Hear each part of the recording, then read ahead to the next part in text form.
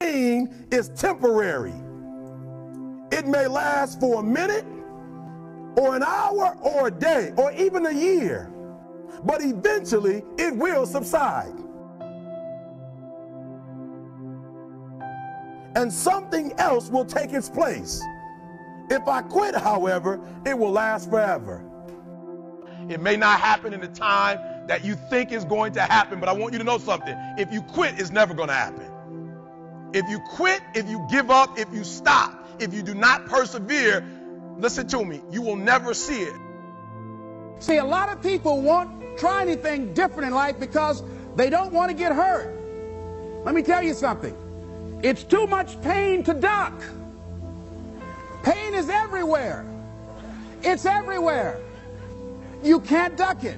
But most people spend their life not wanting to deal with the pain of rejection, the pain of defeat, the pain of being disappointed, the pain of losing, the pain of failure, the pain of being criticized, the pain of not being liked, the pain, the pain, the pain. That's called life. Life is full of pain. It's everywhere. But guess what? There's no gain without pain.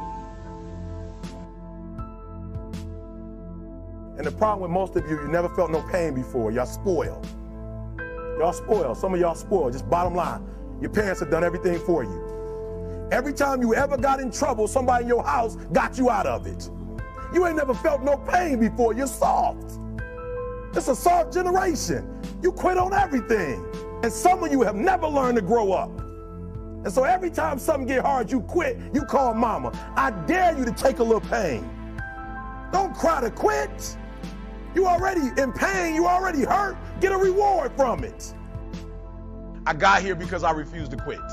I said, I, have been through enough pain, I got to get a reward for it. Enough failures, I got to get a reward for it. Like, I can't stop here because if I stop here, I'm going to be another statistic. Don't cry to give up, cry to keep going. Don't go to sleep until you succeed. You ain't going to die. At the end of pain is success.